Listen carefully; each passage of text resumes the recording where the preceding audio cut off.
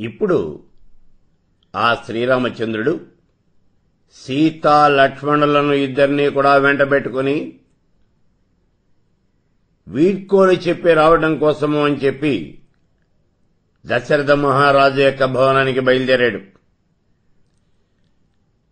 దశరథ మహారాజు దగ్గర సెలవు తీసుకుని అటు నుంచి అటే వనవాసానికి బయలుదేరాలి అని చెప్పేసి నిశ్చయించుకున్నటువంటి వాడై తన యొక్క మందిరంలో నుంచి ఆ దశరథ మహారాజు యొక్క మందిరం వైపుకి బయలుదేరాడు. సీతాదేవి లక్ష్మణుడు తీసుకొచ్చినటువంటి ఆ ధనస్సుకి బాణాలకి ఆ ఖడ్గాలకి కూడా గంధం పూసింది. కుంకుమతో వాటిని అలంకరించింది. ఆ ఆయుధాలు అన్నదమ్ములిద్దరూ కూడా తీసుకున్నారు. సీత నడుస్తూ ఉంటే ఆవిడికి రెండు వైపులా కూడా రాముడు లక్ష్మణుడు నడుస్తూ ఉన్నారు. వాళ్ళు దశరథ మహారాజు యొక్క గృహం వైపుకు బయలుదేరారు. జన సమూహంతో రాజవీధులన్నీ కూడా కిక్కిరిసిపోతూ ఉన్నాయి. పురజనులు అందరూ కూడా ఈ రామ లక్ష్మణులని సీతని చూడాలి అని చెప్పేసి ప్రసాదాల మీద హర్మ్యాల మీద శిఖరాల మీద ఎక్కి నుంచున్నారు.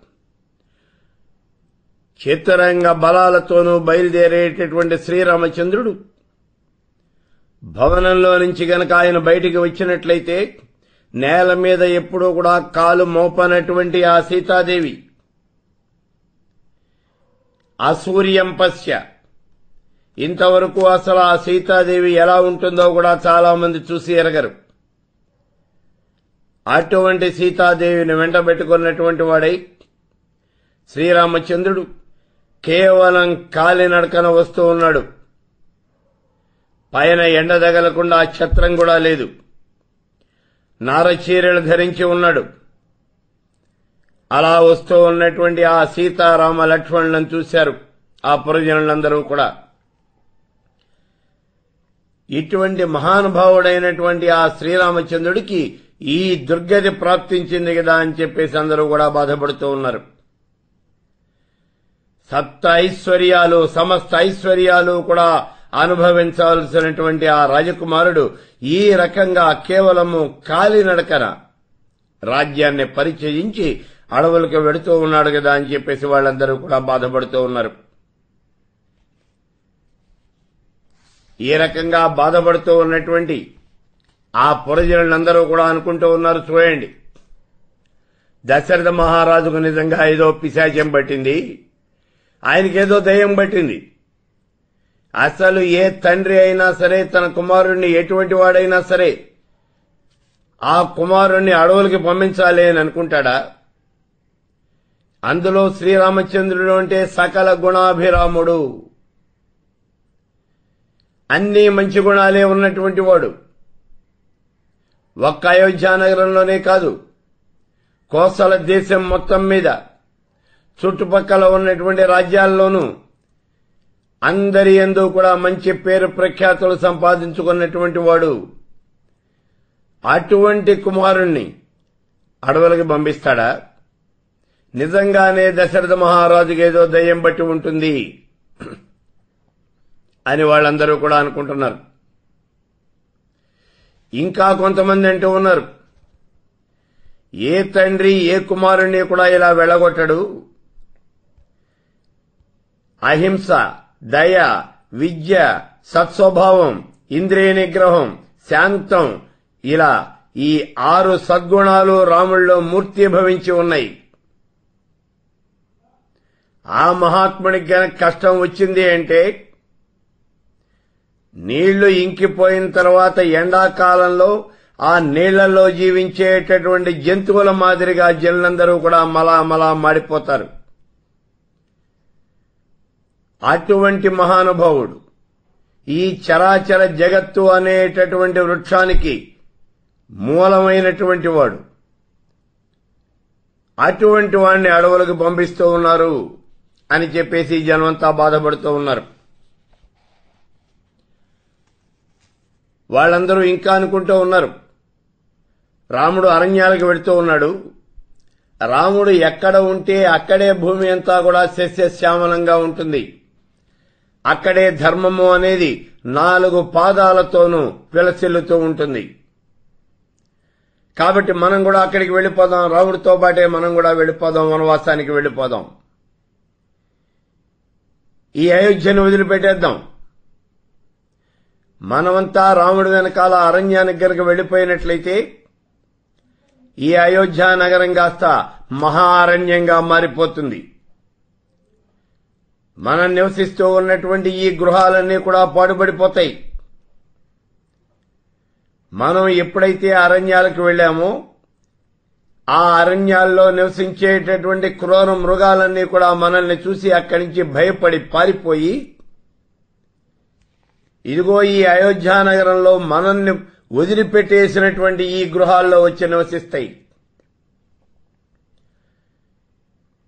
ఈ రకంగా కొండ గుహల్లో నివసించేటటువంటి భయంకరమైనటువంటి అడవుల్లో నివసించేటటువంటి ఆ క్రూర మృగాలన్నీ కూడా వచ్చి ఈ అయోధ్య నగరంలో మనం వదిలిపెట్టేసినటువంటి ఈ నెల ఈ గృహాల్లో నివసిస్తాయి. అప్పుడు ఆ కైకాదేవి ఇదిగో ఈ క్రూర మృగాలతో నిండినటువంటి ఈ అయోధ్య నగరాన్నే పరిపాలించుకుంటుంది. కుమారుణ్ణి రాజుగా చేసి ఈ అరణ్యాన్ని అరణ్యంగా మారిపోయినటువంటి అయోధ్య నగరాన్నే పరిపాలించుకుంటుంది. మనమంతా రాముడితో వెళ్ళిపోదాం. అక్కడ సుభిక్షమైనటువంటి సామ్రాజ్యము అనేది మళ్ళీ ఏర్పడుతుంది అరణ్యంలో. ఈ విధంగా వాళ్ళందరూ కూడా ఆలోచిస్తూ ఉన్నారు. పురజనులు అందరూ కూడా రాముడి వెనకాల తాము కూడా అరణ్యాలకు వెళ్ళిపోవాలి అని యోచన చేస్తూ ఉన్నారు. ఈ మాటలన్నీ కూడా విన్నాడు. శ్రీరామచంద్రుడు. అయితే గతంలోనే చెప్పుకున్నాం అతడు స్థితప్రజ్ఞుడు జితేంద్రియుడు. ఏదైనా సంతోషం కలిగించేటటువంటి మాట కనుక వినిపించినట్లయితే అతడేం పొంగిపోడు. లేదు దుఃఖం వచ్చింది అని కుంగిపోడు. పట్టాభిషేకం జరుగుతుంది అన్నప్పుడు ఆనందంతో గంతులేయలేదు. అలాగే ఇప్పుడు వనవాసం చేయవలసి వస్తూ ఉన్నది అనే విషయం తెలిసి అడవులకు బయలుదేరినప్పుడు కూడా ఆయన ఏమాత్రమూ బాధపడటం లేదు. ఈ పౌరులు అనుకుంటూ ఉన్నటువంటి ఈ మాటలన్నీ కూడా వింటూ ఉన్నాడు. చిరునవ్వు చిందిస్తూ అలాగే గంభీరంగా నడిచి వెడుతూ ఉన్నాడు. ఆ సమీపంలోనే సుమంతుడు కనిపించాడు ఈ శ్రీరామచంద్రుడు సీతా లక్ష్మణ సమేతుడై దశరథ మహారాజు యొక్క భవనాన్ని చేరుకున్నాడు. అక్కడే ఉన్నాడు సుమంతుడు. ఆ సుమంత్రుణ్ణి పిలిచి ఆర్య సుమంత్ర నేను వచ్చాను అని చెప్పి మా నాయన గారికి తెలియజేయవలసింది అన్నాడు. ఆ సుమంత్రుడికి పట్టలేనటువంటి దుఃఖం వచ్చింది. ఇదివరకు చాలాసార్లు చెప్పాడు నేను వచ్చానని చెప్పి మా నాయనగారికి తెలియజేయి అని. ఈ శ్రీరామచంద్రుడు ఆ సుమంతుడితో అనేక సార్లు చెప్పాడు. అప్పుడు మహదానందంగా వెళ్ళి ఈ సుమంత్రుడు దశరథ మహారాజుకి ఆ వార్- ఆ వార్తను తెలియజేసేవాడు. కానీ ఇప్పుడు పరిస్థితి వేరు. ఇప్పుడు శ్రీరామచంద్రుడు ఇక్కడికి వచ్చింది ఎందుకు అంటే దశరథ మహారాజు దగ్గర సెలవు తీసుకుని ఇటు నుంచి ఇటే అరణ్యాలకు వెళ్ళిపోవటానికి. ఈ విషయం తలుచుకోగానే సుమంతుడికి విపరీతమైనటువంటి దుఃఖం వచ్చింది. కానీ చేయగలిగినటువంటిది ఏమీ లేదు. లోపలికి వెళ్ళాడు. దశరథ మహారాజుని చూశాడు. ఆ దశరథ మహారాజు రాహుగ్రస్తమైనటువంటి సూర్యబింబంలాగా బూడిదతో కప్పివేయబడినటువంటి అగ్నిహోత్రంలాగా అలా నిస్తేజంగా ఉన్నాడు. మనోవ్యాకులతతో బాధపడుతూ ఉన్నాడు. దుఃఖిస్తూ ఉన్నాడు. రామా రామా అని అరుస్తూ ఉన్నాడు మధ్య మధ్యలో. ఏంతో ఏం చెప్పాలి? ఈయన ఏమీ వినే స్థితిలో లేడు. ఆలోచించే స్థితిలో లేడు. అటువంటి మహారాజుకు విన్నవించాలి తప్పదు. అలాగే మహారాజు దగ్గర నుంచున్నాడు రెండు చేతులు జోడించి. దశరథ మహారాజుకు జయము అన్నాడు. ఇప్పుడు చెబుతూ ఉన్నాడు. మహారాజా పురుష శార్దూలమైనటువంటి తమ యొక్క కుమారుడు శ్రీరామచంద్రుడు తమ యొక్క దర్శనం కోసం వచ్చి వాయిట్లో కనిపెట్టుకుని ఉన్నాడయ్యా అన్నాడు. అతడు తన యొక్క ధనాన్ని తన వస్తు వాహనాల్ని అన్నింటినీ కూడా బ్రాహ్మణులకు భృత్యులకు దానం ఇచ్చేశాడయ్యా. మిత్రులందరి దగ్గర కూడా వీడ్కోలు తీసుకున్నాడు. వనవాసానికి ప్రయాణమై బయలుదేరాడు. ఇదిగో ఇప్పుడు మీ అనుజ్ఞ తీసుకోవడం కోసము అని చెప్పి సీతా లక్ష్మణ సమేతుడై ఇక్కడికి వచ్చి ఉన్నాడు. కాబట్టి మీరు అతడికి దర్శనాన్ని ఇప్పించండి అన్నాడు. దశరథ మహారాజు సుమంతుడు చెప్పినటువంటి మాటలన్నీ కూడా విన్నాడు. అంత దుఃఖంలోనూ కూడా సుమంతుడు చెప్పినటువంటి మాటలన్నీ విన్నాడు అర్థం చేసుకున్నాడు. ఇప్పుడు సుమంతుడిని చూస్తూ ఓ మంత్రి సత్తమా నా భార్యలందరినీ ఇక్కడికి పిలిపించు. వాళ్ళ సమక్షంలోనే పరమ ధార్మికుడైనటువంటి ఆ రామచంద్రుడిని ఆఖరిసారిగా నేను చూస్తాను అన్నాడు. మహారాజు యొక్క ఆజ్ఞను పరిపాలించేటటువంటి ఈ సుమంతుడు దశరథ మహారాజు యొక్క భార్యలందరికీ కూడా రాజుగారు రమ్మంటున్నారు అనేటటువంటి విషయాన్ని తెలియజేశాడు.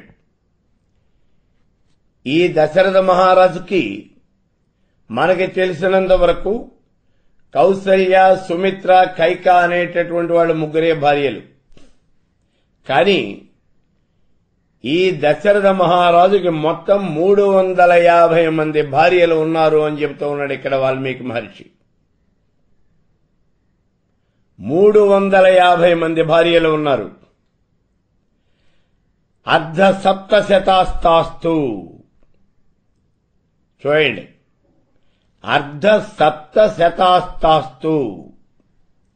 సప్తశతము సప్త అంటే ఏడు వందలు అందులో సగము అంటున్నాడు. అంటే మూడు వందల యాభై మంది అర్ధ సప్తశతాస్తాస్తు ప్రమదా ప్రమద తామ్రలోచనాహ కౌసల్యాం పరివారాధ్య శనైర్జుగ్మర్ ధృతవ్రత మూడు వందల యాభై మంది ఆ భార్యలందరూ కూడా వచ్చారు. వీళ్ళందరూ నియమ నిష్టలతో కౌసల్యాదేవిని అనుసరించి తిన్నగా ఆ దశరథ మహారాజు ఉంటున్నటువంటి భవనంలోకి వచ్చారు. అలా వచ్చినటువంటి ఆ భార్యనందరినీ కూడా ఒకసారి చూశాడు. ఈ దశరథ మహారాజు.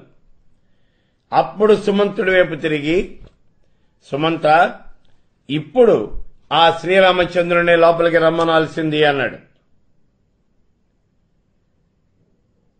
తన యొక్క భార్యలు అందరూ కూడా పరివేష్టించి ఉండగా మధ్యలో కూర్చున్నటువంటి దశరథ మహారాజు రాముడిని లోపలికి ప్రవేశపెట్టమన్నాడు. రాముడు సీత లక్ష్మణుడు ముగ్గురు కూడా వచ్చారు.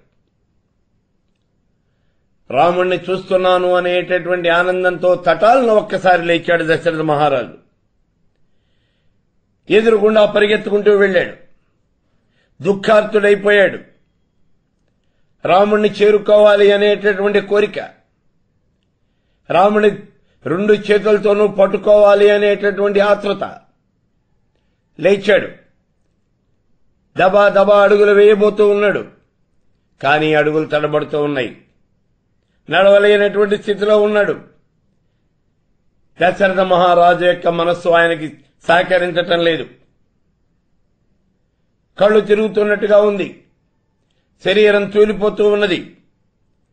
దశరథ మహారాజు దబ్బుమని నేల మీద కుప్పగూలిపోయాడు మూర్చబోయాడు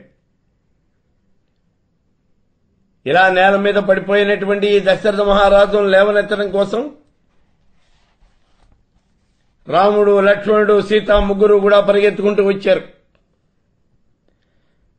అంతఃపురంలో ఉన్నటువంటి ఆ భార్యలు మూడు వందల యాభై మంది ఒక్కసారిగా గొల్లుమన్నారు. హా రామ అని చెప్పేసి పెద్దగా కేకలు పెడుతూ ఉన్నారు పెడబొబ్బలు పెడుతూ ఉన్నారు. గుండెలు కొట్టుకుంటూ వాళ్ళంతా కూడా విలపిస్తూ ఉన్నారు. వాళ్ళ ఏడుపులతోనూ వాళ్ళ పెడబొడ్డ పెడబొబ్బలతోనూ వాళ్ళ తమ శరీరంలోని అంగాలు కదిలిస్తూ ఉంటే అవయవాలు కదిలిస్తూ ఉంటే వాళ్ళ శరీరంలో ఉన్నటువంటి ఆభరణాలన్నీ కూడా కదిలి చిత్ర విచిత్రమైనటువంటి ధ్వనులు చేస్తూ ఉన్నాయి. ఈ రకమైనటువంటి ఆభరణాల యొక్క ధ్వనులతోనూ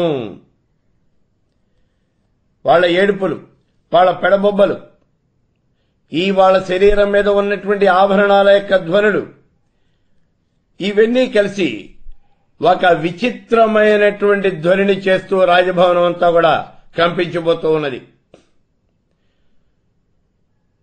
రాముడు లక్ష్మణుడు సీత ఈ ముగ్గురు కూడా దశరథ మహారాజుల సాయం పట్టి పర్యంకం మీద పడుకోబెట్టారు.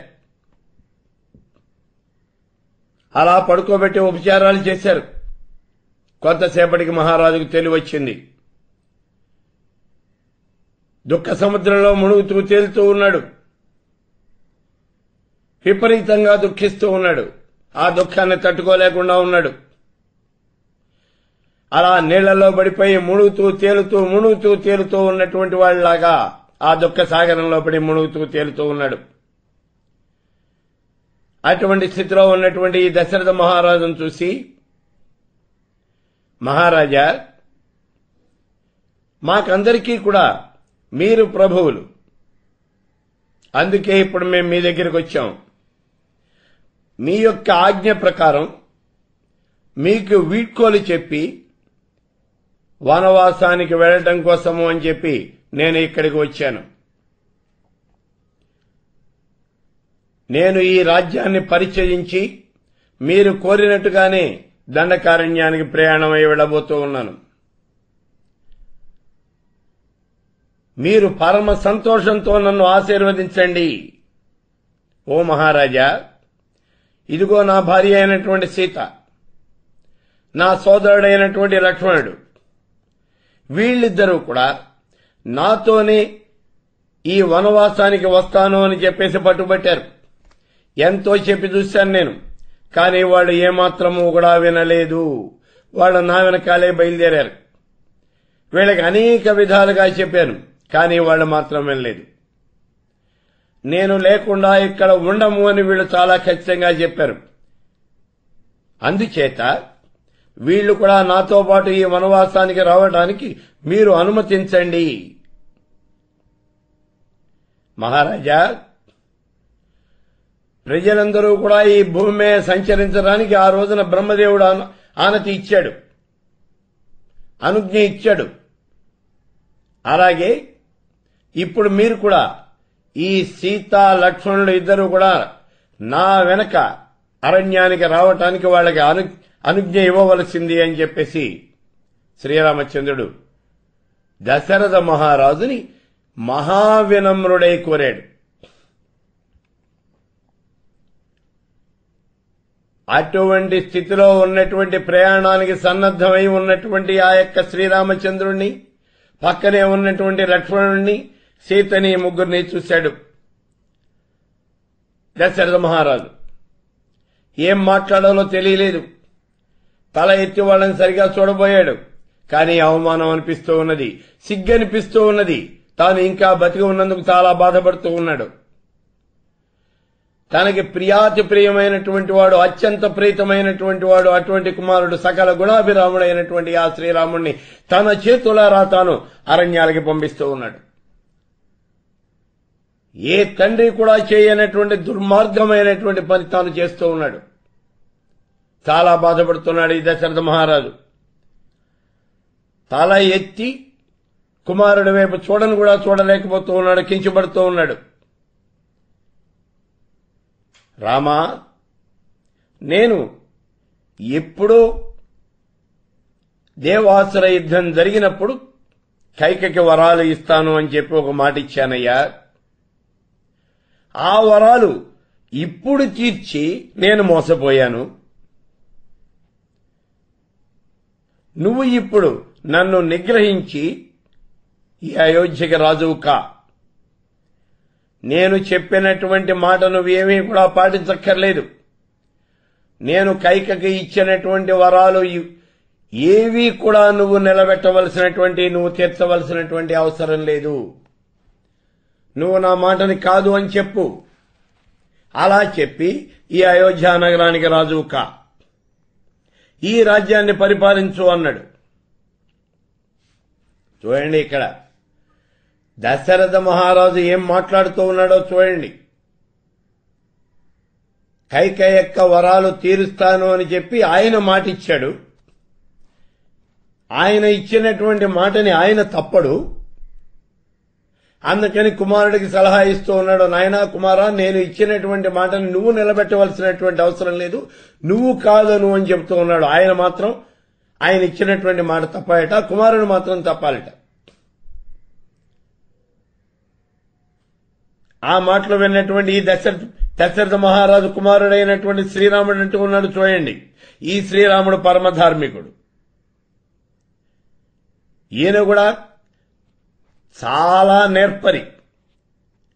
మహాచతురుడు అందుకే రెండు చేతులైతే నమస్కారం చేస్తూ ప్రభు మీరు ఎంతకాలమైనా ఈ రాజ్యాన్ని పరిపాలించండి. మీరు పుణ్యమూర్తులు. నా వల్ల మీకు అసత్య దోషము అనేది ఏమాత్రము కూడా అంటకూడదు అని చెప్తూ ఉన్నాడు.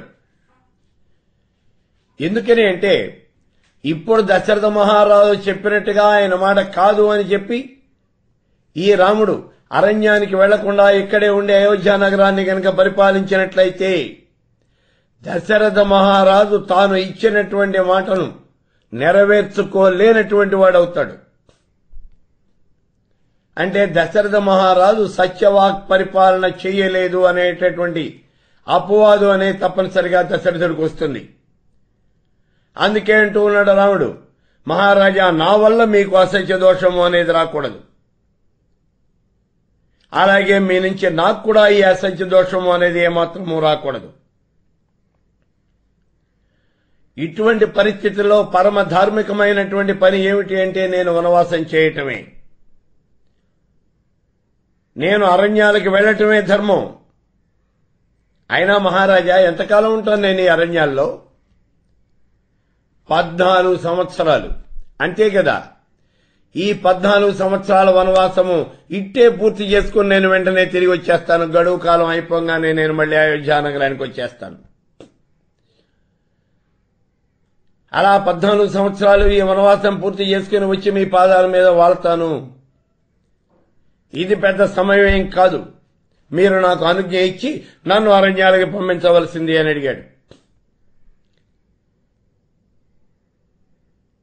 ఈ మాటలు విన్నటువంటి ఆ దశరథ మహారాజు సత్య పాశబద్ధుడైపోయాడు అని చెబుతూ ఉన్నాడు. ఇక్కడ వాల్మీకి చూడండి. పాశబద్ధుడు అవటం అంటే తాళ్ళతో కట్టివేయబట్టం. కానీ ఇక్కడ తాడు అనేది ఏది? సత్యపాస్యము సత్యము అనేటటువంటి తాడుతో కట్టివేయబడి ఉన్నాడు. ఏమీ చేయలేనటువంటి పరిస్థితిలో ఉన్నాడు.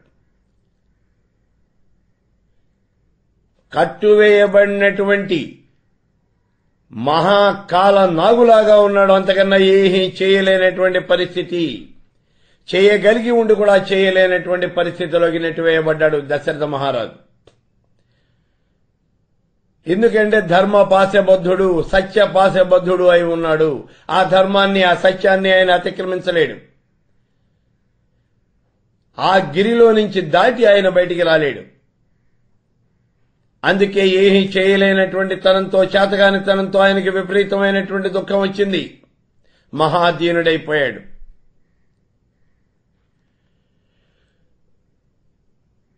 కైకేయి పక్కకు వచ్చింది. దశరథ మహారాజు పక్కనే కూర్చుంది. చెవిలో చెబుతూ ఉన్నది మహారాజా ఇదే మంచి అదును. పంపించేయి. రాముడు అరణ్యానికి వెళ్ళిపోతానంటున్నాడు. అవునను వెంటనే వెళ్ళిపోమ్మను పంపించేయి పంపించేయి అని చెప్పేసి చెవిలో జోరీగలాగా ఈ కైకేయి సొదబెడుతూ ఉన్నది. కైక కావలసింది శ్రీరామచంద్రుడు అడవికి వెళ్ళటం. అందుకే ఈ చెవిలో ఈవిడ ఊగు రొద పెడుతూ ఉన్నది మహారాజా ఈ కుమారుడైనటువంటి రాముణ్ణి నువ్వు వెంటనే అడవులకు పంపించేయి అంటూ ఉన్నది. అంటే దశరథ మహారాజు ఏమాత్రము కూడా ఆలోచించుకోవటానికి వీలు లేకుండా అటువంటి అవకాశాన్ని ఇవ్వకుండా పక్క నుంచి తాను చెబుతూ ఉన్నది. ఇప్పుడు దశరథ మహారాజు రాముణ్ణి చూసి కుమారా పోవయ్యా నువ్వు ప్రయాణమే వెళ్ళిపో. ఈ లోకంలో ఉన్నటువంటి సౌఖ్యాలన్నీ పూర్తిగా అనుభవించు మళ్ళీ తిరిగిరా.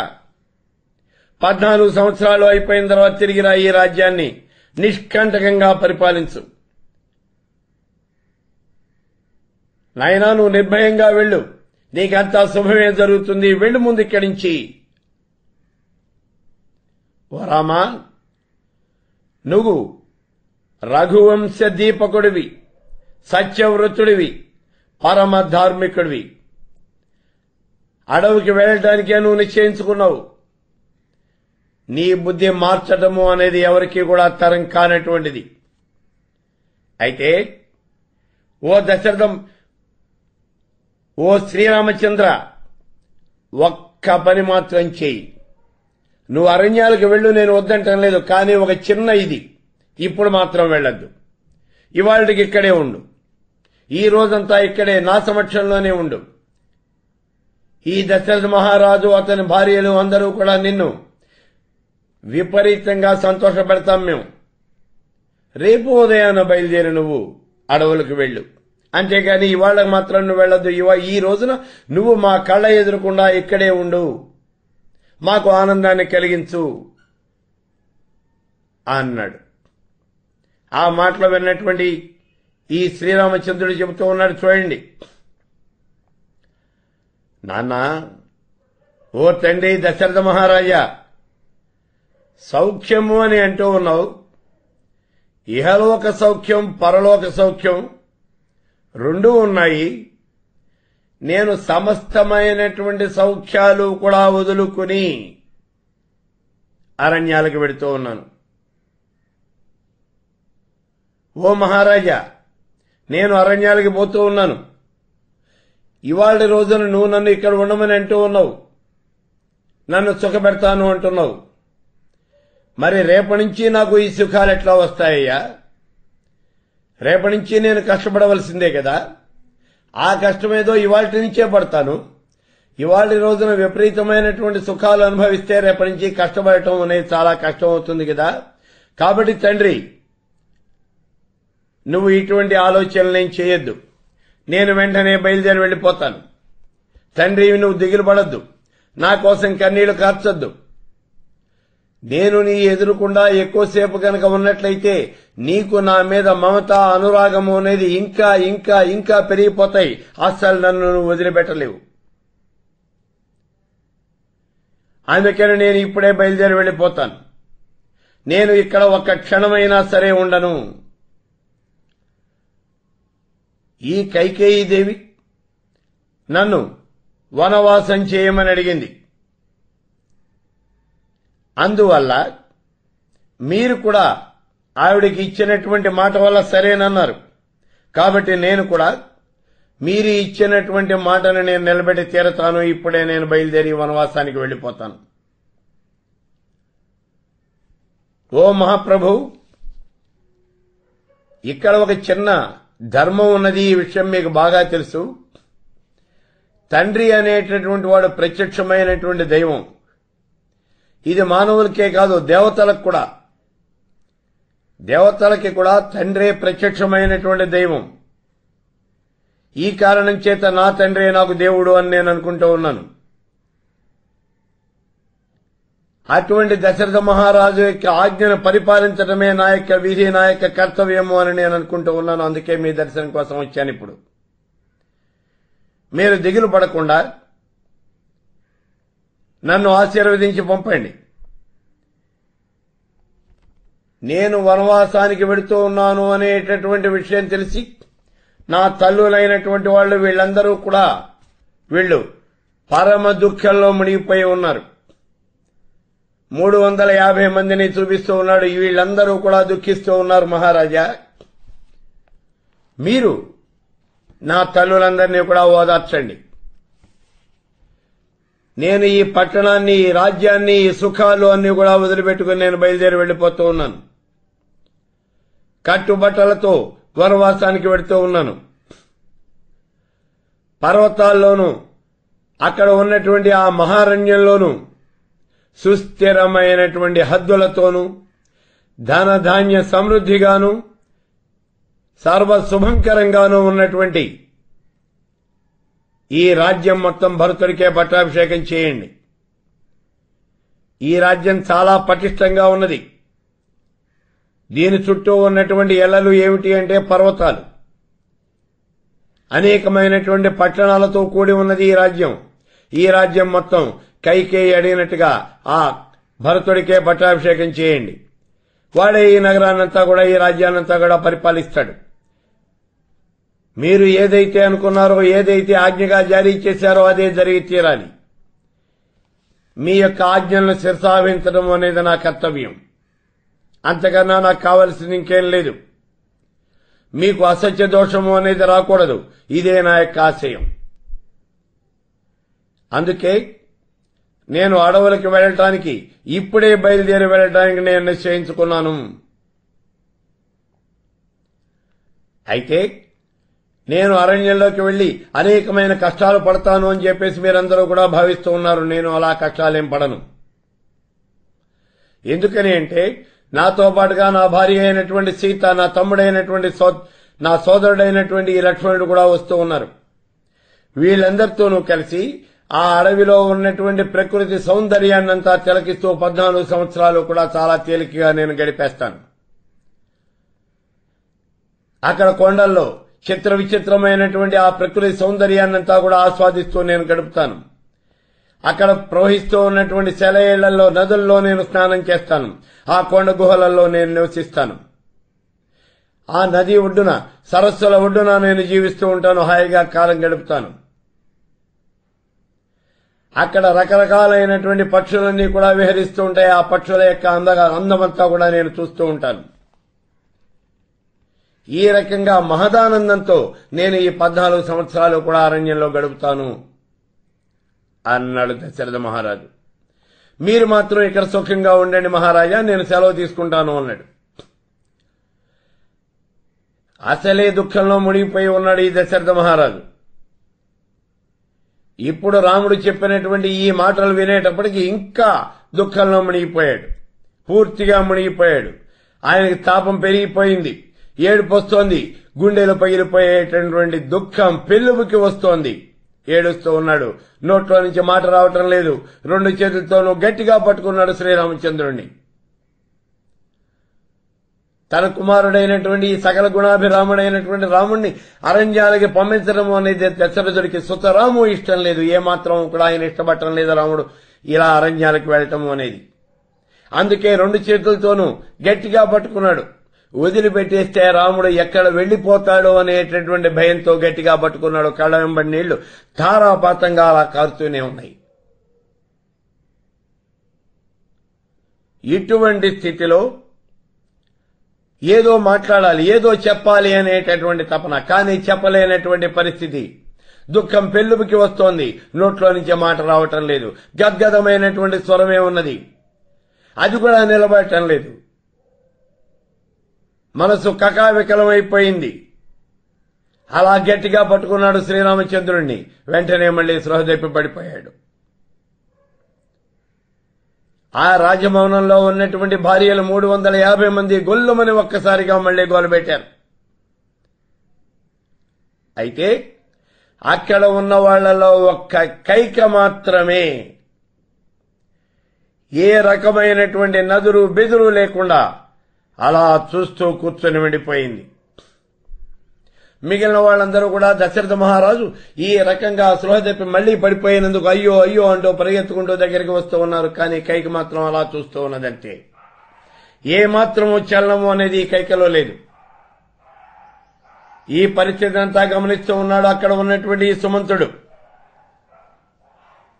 సుమంతుడు పెద్దగా నిట్టూర్పులు విడుస్తూ చేతులు నలుపుకుంటూ ఉన్నాడు. పళ్ళు పటాపటా కొడుకుతూ ఉన్నాడు. ఈ దుస్థితికందరికీ కారణం ఎవరు అంటే ఇదిగో ఈ కైక.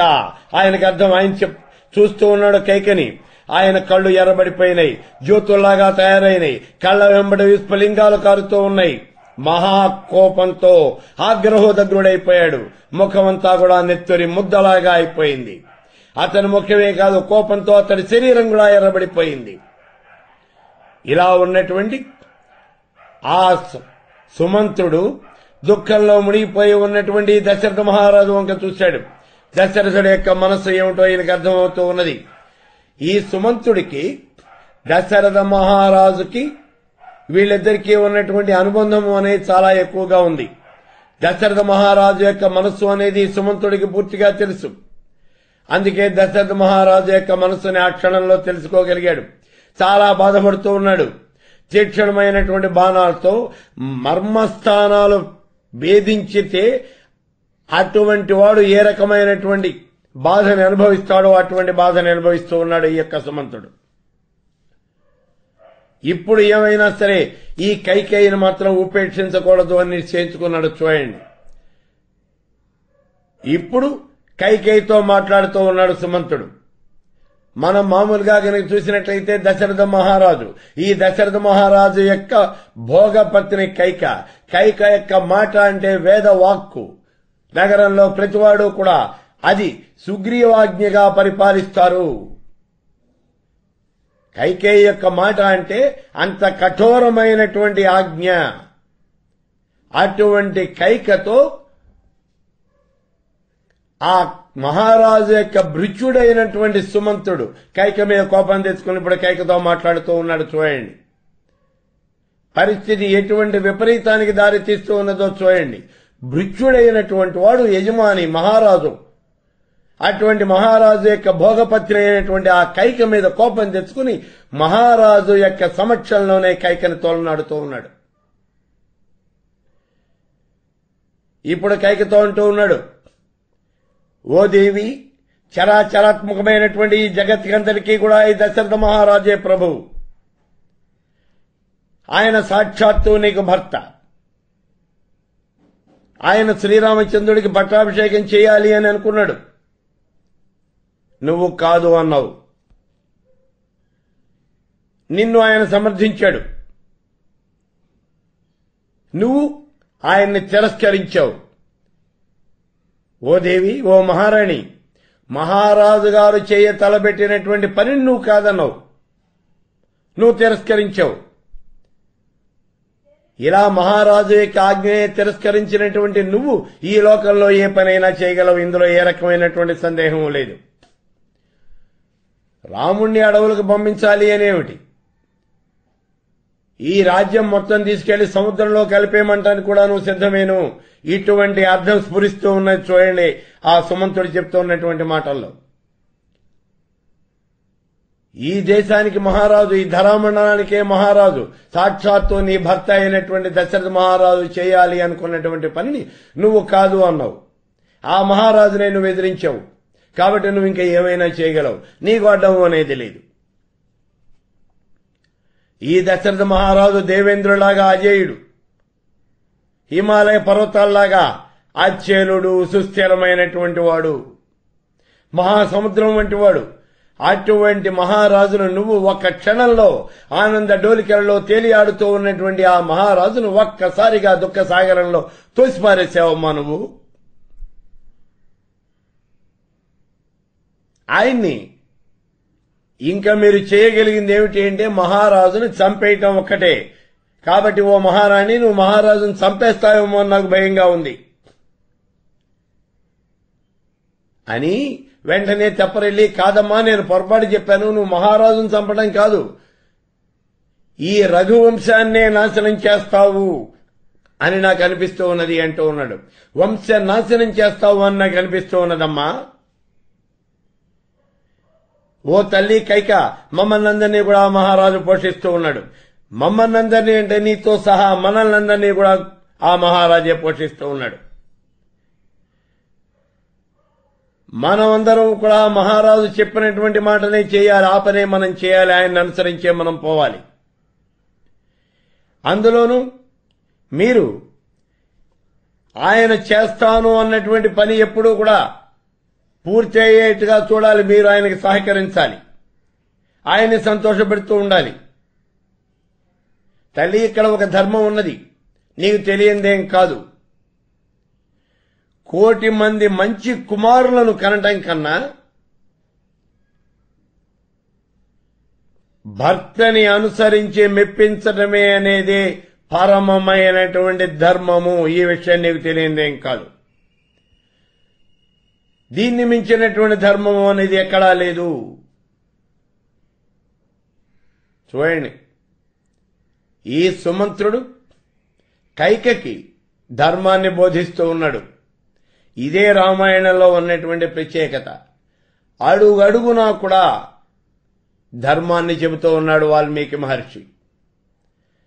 అందుకే చాలామంది వ్యాఖ్యాతలు ధర్మం నాలుగు పాదాలు కూడా నాశనమైపోయినటువంటి పరిస్థితిలో అంటే ఈ దేశంలో ధర్మము న్యాయము సత్యము తపస్సు ఇవన్నీ కూడా పూర్తిగా అడుగంటినటువంటి పరిస్థితిలో అన్నదమ్ముల మధ్య అనుబంధం భార్యాభర్తల మధ్యన అనుబంధం తండ్రి కుమారుల మధ్యన వాత్సల్యం ఇవన్నీ కూడా పూర్తిగా అడుగంటిపోయినటువంటి పరిస్థితిలో మళ్ళీ వాటన్నింటినీ కూడా పునరుద్ధరించాలి అనేటటువంటి కోరికతోనే ఈ రామాయణ మహాకావ్యం రాయబడింది అని పరిశోధకులందరూ కూడా చెబుతూ ఉన్నారు. ఎందుకని అంటే ప్రతి క్షణము ఎవరికి ఎక్కడ అవకాశం వచ్చినట్లయితే ఆ పాత్రతో ఇక్కడ ధర్మాన్ని చెప్పిస్తూ ఉన్నాడు. ఇప్పుడు చెబుతూ ఉన్నాడు ఈ సుమంతుడు కైకకి ధర్మాన్ని చెబుతూ ఉన్నాడు. అమ్మ భార్య యొక్క ధర్మం ఏమిటి అంటే కోటి మంది కొడుకుల్ని కన్నా సరే. అదేం గొప్పదైనటువంటి విషయం కాదు. భర్తని అనుసరించి ఉండటం భర్తని మెప్పించడం ఇదే భార్య యొక్క ధర్మము ఇదే పరమమైనటువంటి ధర్మము. ఓ మహారాణి ఇక్కడ ఇంకో విషయం కూడా ఉంది. రాజు గనక పరమపదించినట్లయితే రాజు మరణించినట్లయితే ఆయనకు ఉన్నటువంటి సంతానంలో పెద్ద కుమారుడు ఎవడైతే వాడే రాజు అవుతాడు. మిగిలిన వాళ్ళందరూ కూడా ఆయన్ని అనుసరించి ఉంటారు అంతే. ఇది లోక ధర్మం ఈ ధర్మాన్ని ఇక్ష్వాకు వంశీయులు కూడా ఆచరిస్తూ ఉన్నారు. దీని ప్రకారమే ఇప్పుడు ఈ శ్రీరామచంద్రుణ్ణి యువరాజుగా పట్టాభిషేకం చేయాలి అని అనుకున్నాడు దశరథ మహారాజు. లోక విరుద్ధంగా ఏమీ కూడా చేయాలి అని అనుకోలేదు అని చెబుతూ ఉన్నాడు. ఎందుకనంటే దశరథ మహారాజుకు ఉన్నటువంటి నలుగురు కుమారుల్లోనూ కూడా పెద్దవాడు. శ్రీరామచంద్రుడు అని గతంలో మనం చెప్పుకున్నాం.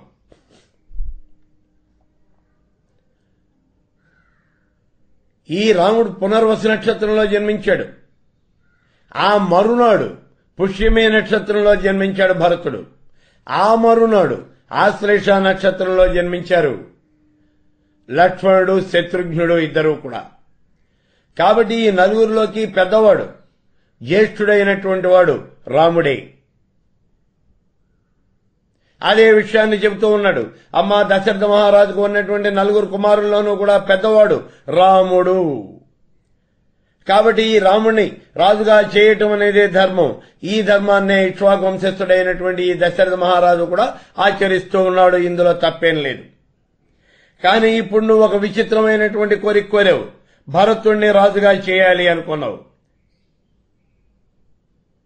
దశరథ మహారాజు జీవించి ఉండంగానే ధర్మ పరిపాలన చేసేటటువంటి ఆ మహారాజ్ చేత్తోనే ఈ ధర్మాన్ని కాస్త నాశనం చేయించాలి అని కంకణం కట్టుకున్నావు. ఇందులోనూ కృతార్థురాలు అయితే అవ్వచ్చు. నీ కుమారుడైనటువంటి భరతుడే రాజు కావచ్చు ఇది కూడా పెద్ద విచిత్రం లేదు. ఎందుకంటే నువ్వు ఆ కోరికనేమో దశరథ మహారాజును కోరావు ఆయనేమో ఇస్తాను అన్నాడు. కాబట్టి నీ కుమారుడైనటువంటి భరతుడు రాజు కావచ్చు. ఇదేం పెద్ద విచిత్రమైనటువంటి విషయం కాదు. మేం మాత్రం రాముడు ఉన్నటువంటి చోటికే మేము వెళ్ళిపోతాం. మేము ఈ అయోధ్యా నగరంలో ఉండం. ఎవరు లేనటువంటి ఈ అయోధ్యా నగరంలో పా- పాడుబడిపోయినటువంటి శిథిలమైపోయినటువంటి ఈ పట్టణాన్ని పరిపాలిస్తున్న ఒక్కతవే ఇక్కడ ఉండవలసి వస్తుంది. రాముడు లేనటువంటి అయోధ్యలో ఏ ఒక్క బ్రాహ్మణుడు ఏ ఒక్క సత్పురుషుడు కూడా జీవించి ఉండడు అనే విషయాన్ని నువ్వు గుర్తుపెట్టుకో. యోగ్యుడైనటువంటి వాడు ఎవడు కూడా రాముడు లేనటువంటి ఈ నగరంలో ఉండడు. ఓ కైక నువ్వు ఎటువంటి అపచారాన్ని చేస్తూ ఉన్నావో నీకు తెలియటం లేదు. ఇప్పుడు ఈ శ్రీరామచంద్రుని వనవాసానికి పంపించాలి అని చెప్పేసి మీరు పట్టుబడుతూ ఉన్నారు తల్లి. దీనివల్ల బ్రహ్మర్షులు యమదండం కన్నా భయంకరమైనటువంటి తమ యొక్క వాగ్దండాలతో మిమ్మల్ని ఎందుకు ప్రహరించకుండా ఉన్నారో నాకు తెలియటం లేదు అని చెప్పి అంటూ అంటూ ఉన్నాడు చూడండి ఇక్కడ బ్రహ్మర్షుల వాక్కుకు ఉన్నటువంటి శక్తి ఎటువంటిదో చెబుతూ ఉన్నాడు ఈ సుమంతుడు. యమదండం అనేది చాలా భయంకరమైనటువంటిది. మానవుడి యొక్క ప్రాణాలు జీవి యొక్క ప్రాణాలు లాగి పారేస్తుంది. దానికన్నా కూడా శక్తివంతమైనటువంటివి బ్రహ్మర్షుల యొక్క వాక్కులు.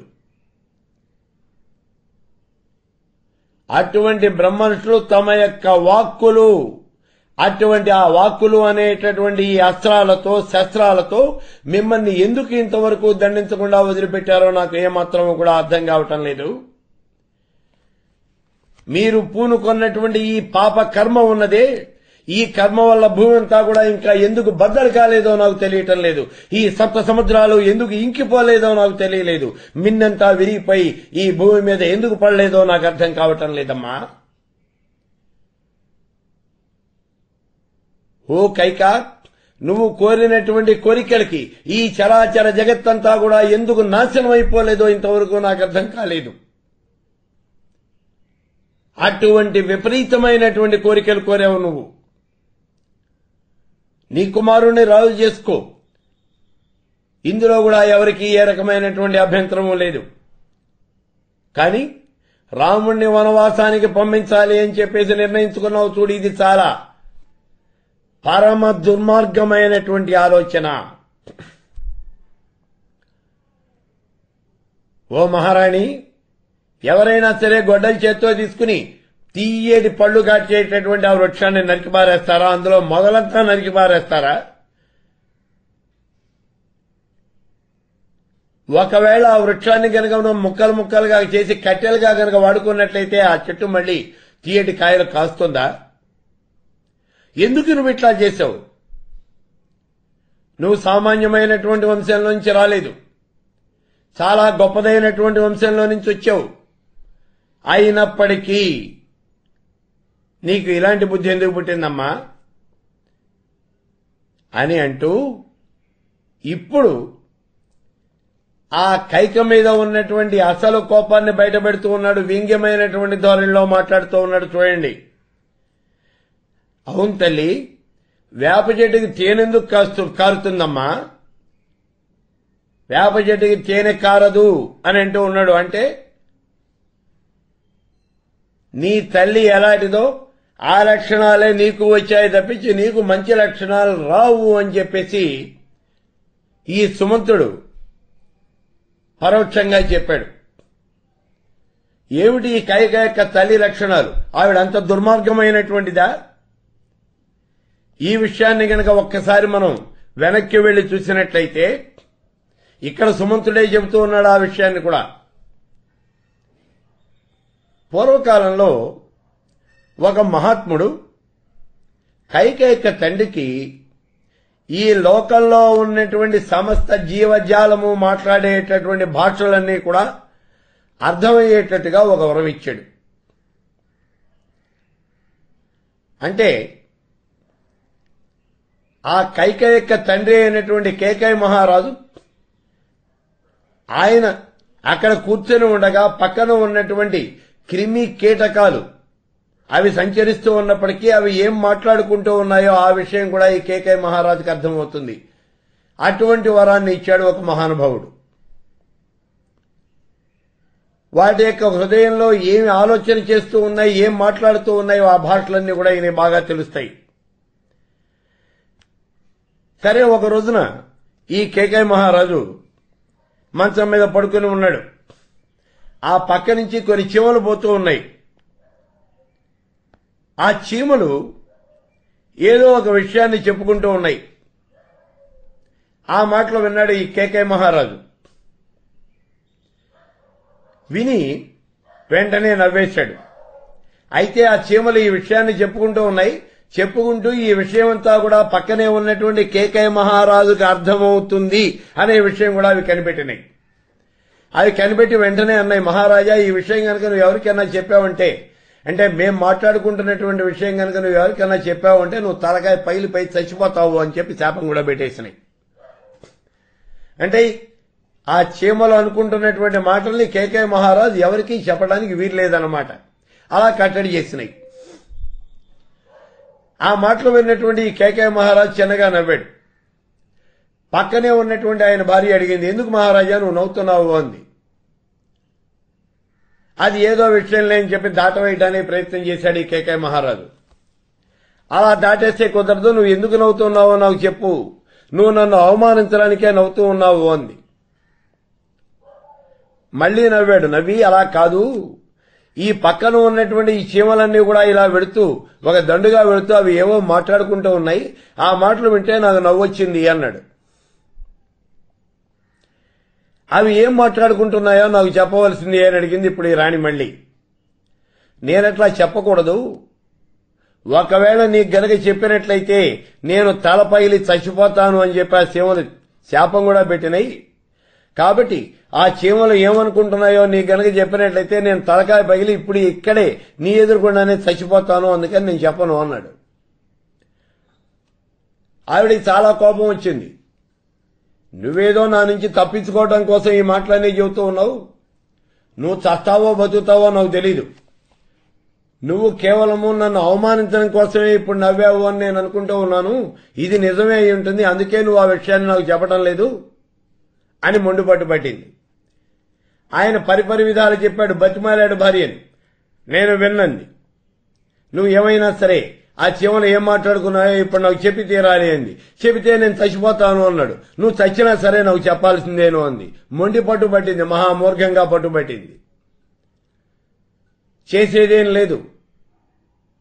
జీవించి ఉంటే ఇదిగో ఈ రకమైనటువంటి ఇలాగే ఈ కాపురాన్ని ఈడ్చుకుంటూ వెళ్ళాలి. ఇక చేసేది ఏమీ లేక ఆ కేకయ్య మహారాజు ఆ చీమలు ఏవైతే మాట్లాడుకుంటూ ఉన్నాయో ఆ విషయాన్ని కాస్త ఈ చీమలు పెడుతూ ఇలా మాట్లాడుకుంటూ ఉన్నాయి అనే విషయాన్ని ఆయన భార్యకి చెప్పేశాడు. అంతే. మరుక్షణంలోనే ఆ కేకయ్య మహారాజు యొక్క తల కాస్త ముక్కలు ముక్కలైపోయింది ఆయన కింద పడి చచ్చిపోయాడు. ఇది ఈ కేకయ్య మహారాజు యొక్క తల్లి అయినటువంటి కేకయ్య మహారాజు యొక్క భార్య అయినటువంటి కైక తల్లి ఆవిడ యొక్క పరిస్థితి. ఇప్పుడు ఆ విషయాన్ని గుర్తు చేస్తూ ఉన్నాడు ఈ సుమంతుడు ఇదిగోనమ్మా కైక నీ తల్లి అంటే ఎవరు అనుకున్నావు? ఇదిగో ఇది నీ తల్లి యొక్క లక్షణాలు. మరి ఆ లక్షణాలే నీకు వస్తూ ఉన్నాయి. నీ కొత్త లక్షణాలు ఎక్కడి నుంచి వస్తాయి అన్నాడు. అందుకే ఇందాక చెప్పాడు వేప చెట్టుకి తేనె కారుతుంది అన్నాడు. నీ తల్లికి ఉన్నవే దుర్మార్గమైనటువంటి లక్షణాలు సొంత చేతులతో తన భర్తను చంపుకుంది ఆవిడే. తన భర్త చచ్చిపోతాడు అనే విషయం తెలిసి కూడా ఆ మాటలేవో నాకు చెప్పి తీరాలి అని పట్టుబట్టింది ఆయనతో చెప్పించింది ఆయనకి అత్త తలబగిలి చచ్చిపోయాడు. నువ్వు అటువంటి పని చేస్తూ ఉన్నావు. నీ కుమారుణ్ణి రాజుగా చేసుకోవాలి అనేటటువంటి ఈ దురాలోచనతో నీ భర్త యొక్క ప్రాణాలే తీసుకోవడానికి నువ్వు సిద్ధపడుతూ ఉన్నావు నీకు తెలియటం లేదు. అయినా అసలు నీకు ఇటువంటి ఆలోచనలు రాకూడదు. ఎవరో పాపిష్టి వాళ్ళు దుర్మార్గులు నీకు ఇటువంటి సలహా ఇచ్చి ఉంటారు. పెద్దవాడిని అడవులకి పంపించమని రెండో వాడికి రాజ్యాన్ని పట్టాభిషేకం చేయమని ఎవరో దుర్మార్గమైనటువంటి సలహా పాపిష్టి సలహా నీకు ఇచ్చారు. నిన్ను పురికొల్పారు. దాంతో ఈ అధర్మానికి నువ్వు నీ భర్తని ప్రేరేపించావు. ఆయన చేయకూడదు అనుకున్నటువంటి పనిని నువ్వు బలవంతంగా చేయించాలి అని సంకల్పించావమ్మా. ఓ మహారాణి ఆయన నీకు రెండు వరాలు ఇస్తాడు అని చెప్పేసి ఆయన ఏదో వాగ్దానం చేశాడు. ఆ వరాలు ఇచ్చి తీరతాడు అని నువ్వు అనుకోవద్దు. ఆయన ఆ వరాలు నీకు ఇవ్వడం.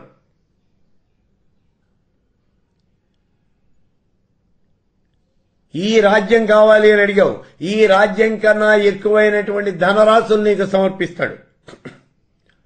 నీకు సరిపోతుందా? ఈ రాజ్యాన్ని ఇవ్వటం లేకపోతే రాముడిని అరణ్యాలకు పంపించడం ఈ రెండు పనులు మాత్రం చేయడు. నీకు అనేకమైనటువంటి ధనరాశులు ఇస్తాడు. బంగారు రాసులు ఇస్తాడు. నువ్వు వాడితో సరిపెట్టుకో. నీకు ఈ రాజ్య ఈ వరాలు మాత్రం చెల్లించడు. ఇలా వరాలు చెల్లిస్తాడు అనేటటువంటి ఆశ మాత్రం నువ్వు పెట్టుకోవద్దు. అమ్మా ఓ కైక రాముడు పెద్ద కుమారుడు వీడు వదాన్యుడు సదాచార సంపన్నుడు ధర్మరక్షకుడు లోకరక్షకుడు మహాబలవంతుడు మహాపరాక్రమవంతుడు. అందుకే ఈ రాముడికి పట్టాభిషేకం జరగాలి అని చెప్పేసి పురజీ అయోధ్యానగర వాసులందరూ కూడా కోరుతూ ఉన్నారు.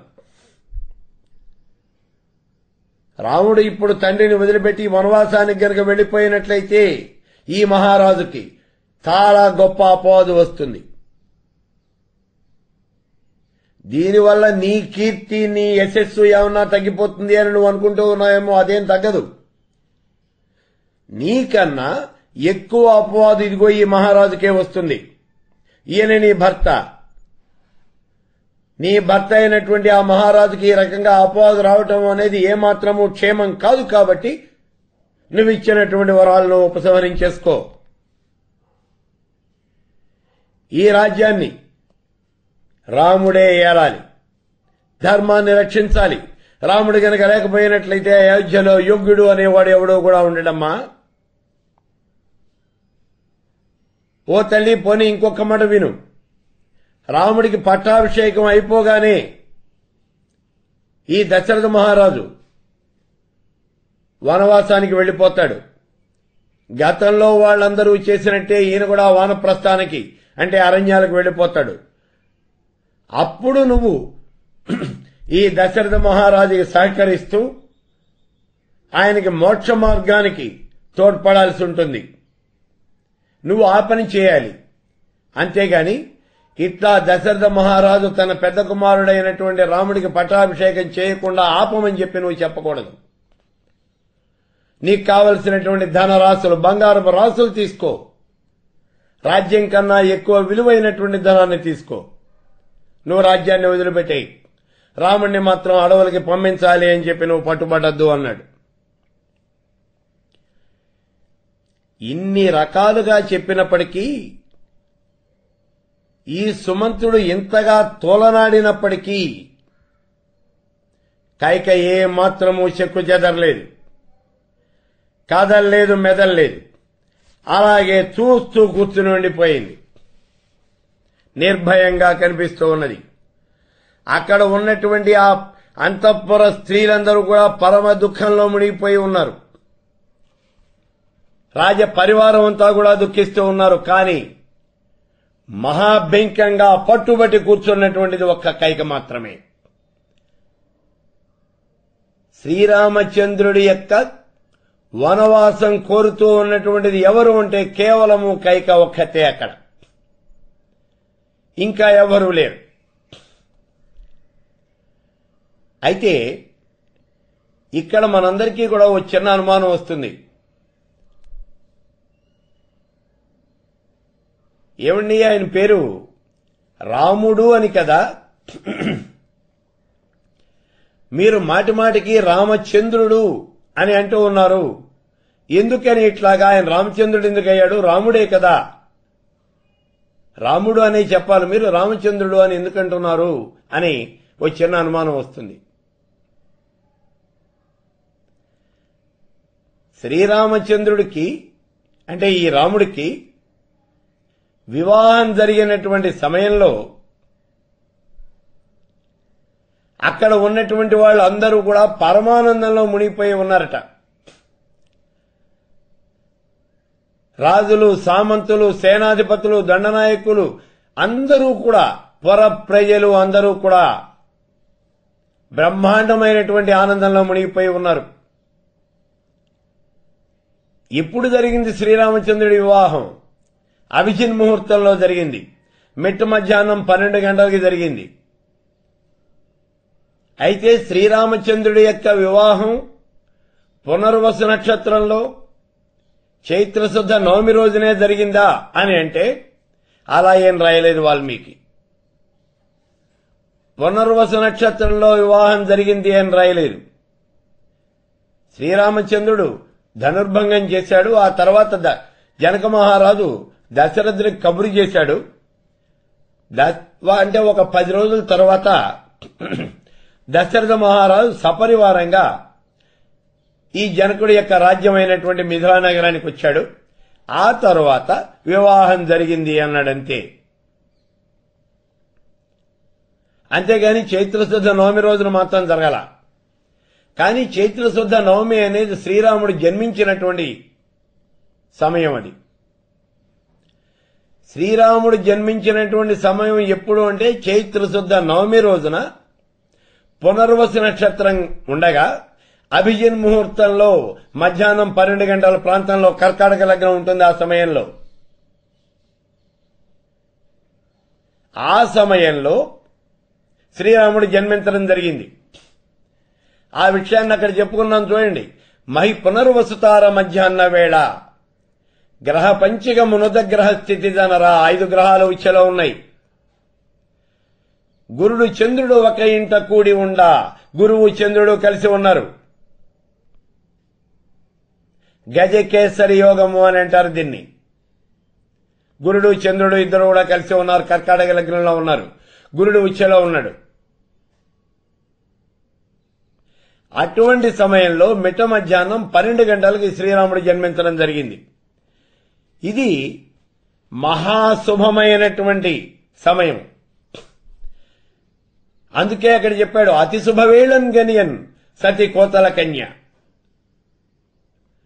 మహాపరమ పవిత్రమైనటువంటి సమయంలో ఆ కోసల కన్య ఆ కౌసల్యాదేవి ఈ శ్రీరామచంద్రుణ్ణి ప్రసవించింది అన్నాడు.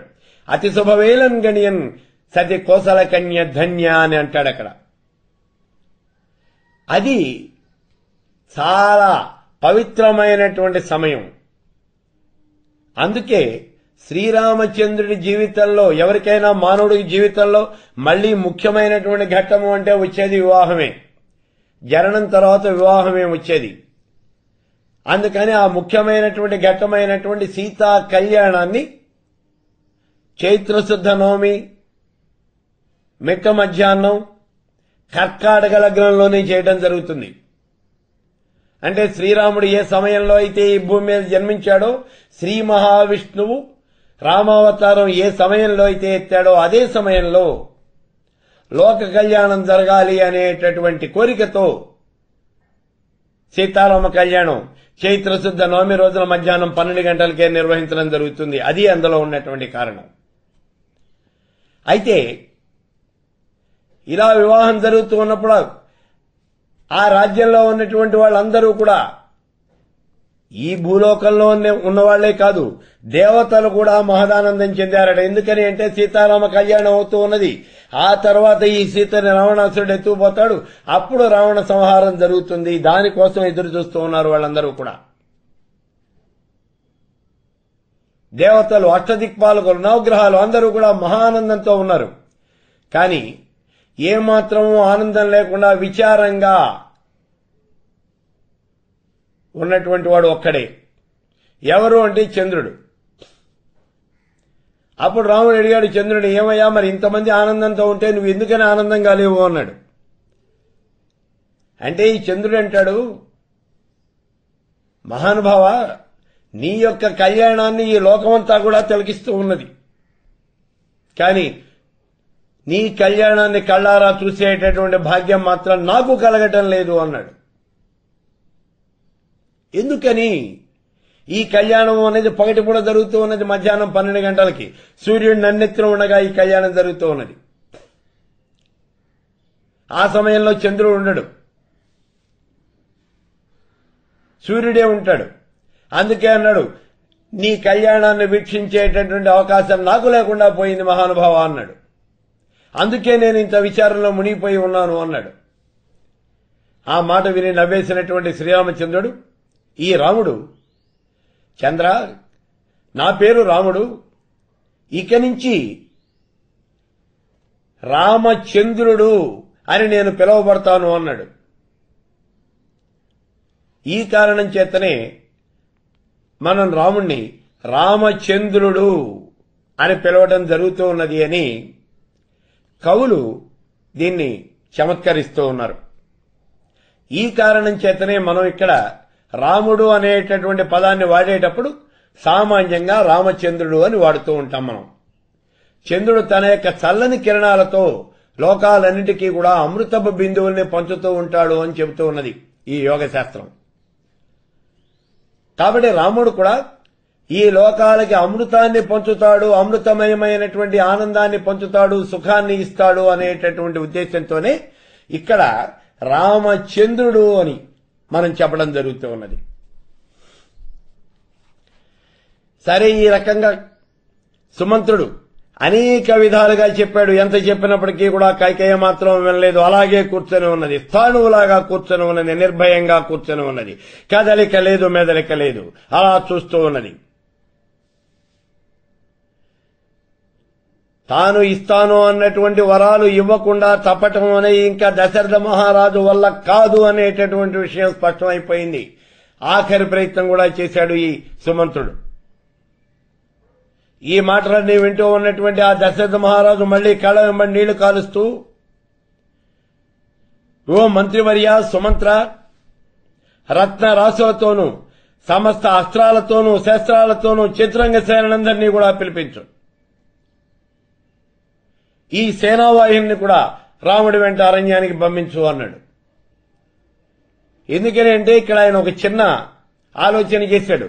రాముణ్ణి అరణ్యానికి పంపిస్తాను అన్నాడు. రాముడితో పాటు ఇంకెవరూ వెళ్ళకూడదు అనేటటువంటి మాట ఏం లేదు.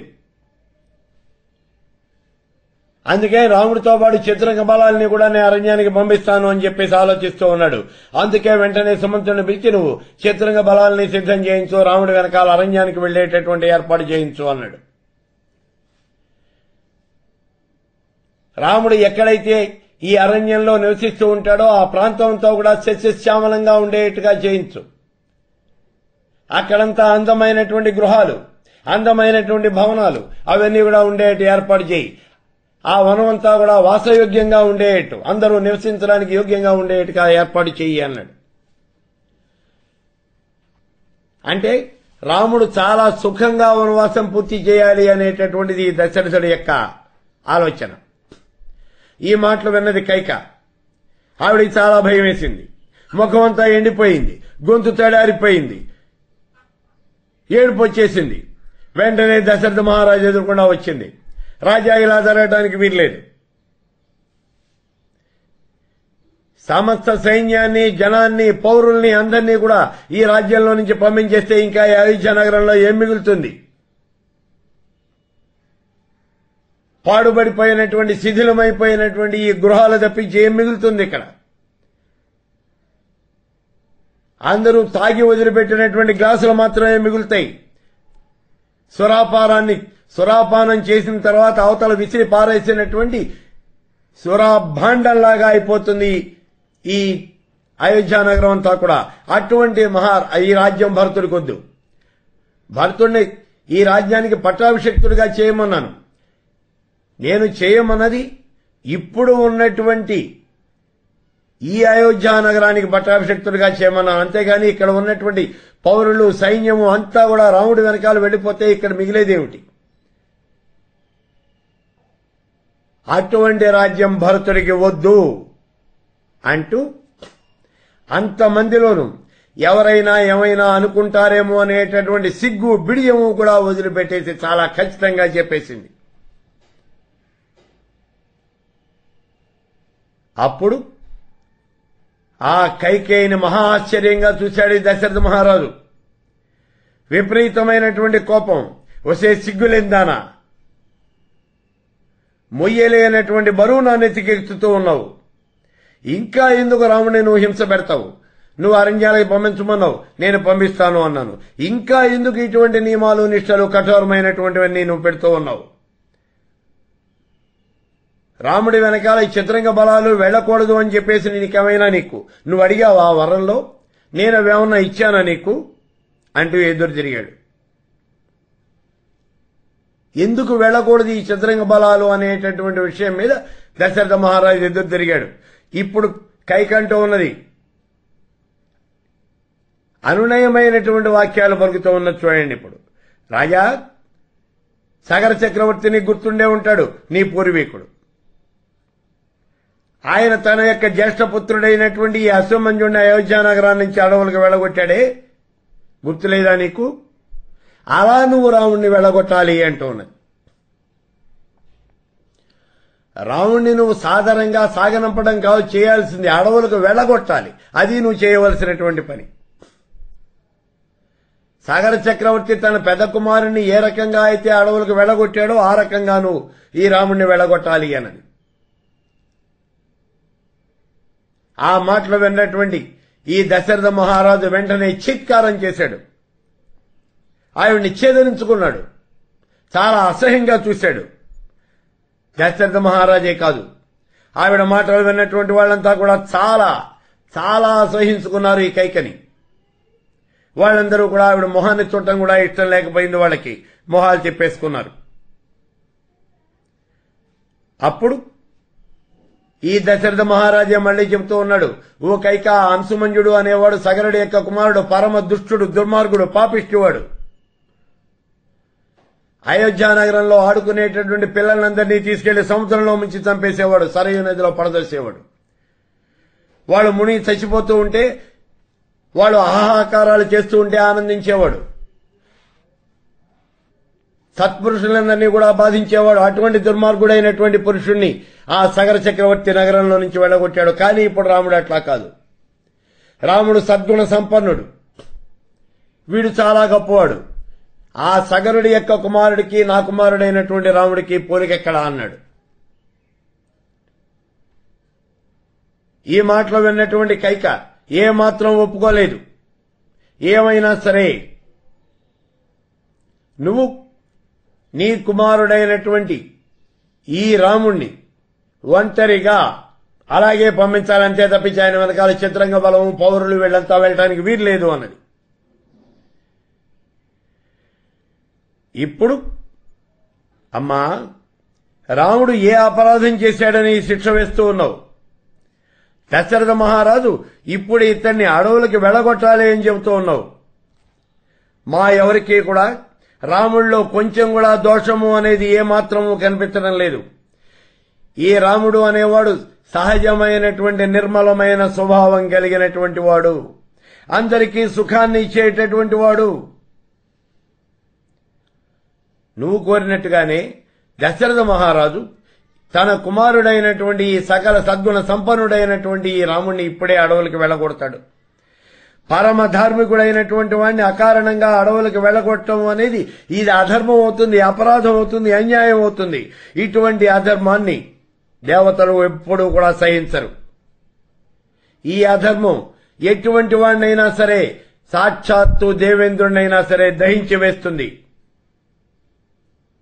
అని అక్కడ ఉన్నటువంటి సిద్ధార్థుడు అనే ఒక మహాపండితుడు ఆయన చెప్పాడు. ఆ మాటలో విన్నటువంటి దశరథ మహారాజు మళ్ళీ అంటూ ఉన్నాడు వసే పాపిష్టదానా ఈ సిద్ధార్థుడు యొక్క మాటలన్నా విను కనీసం. వీళ్ళందరూ చెప్పింది విను. నాకు తెలుసు. నువ్వు వినవు. నువ్వు కుచితమైనటువంటి బుద్ధితో ఉన్నావు కుళ్ళు బుద్ధితో ఉన్నావు. నీవన్నీ కూడా విపరీతమైనటువంటి చేష్టలు చేస్తూ ఉన్నావు. నువ్వు సన్మార్గాన్ని వదిలిపెట్టేశావు. ఓ కైకా ఇప్పుడు ఈ రాజ్యాన్ని నేను వదిలిపెట్టేస్తూ ఉన్నాను. ఈ రాజ్యం మొత్తం నువ్వే నెత్తినేసి కొట్టుకో. నీ కుమారుడైనటువంటి భరతుడికే పట్టాభిషేకం చేసుకో. నువ్వు నీ కొడుకు కలిసి ఈ రాజ్యాన్ని అనేక సంవత్సరాలు యథేచ్ఛగా పరిపాలించండి. అంటూ కైకని ఏవగించుకుంటూ అసహ్యించుకుంటూ ఈసడించుకుంటూ ఏం మాట్లాడుతున్నాడో కూడా తెలియనటువంటి స్థితిలో మాట్లాడుతూ ఉన్నాడు. ಈ ದಶರಥ ಮಹಾರಾಜು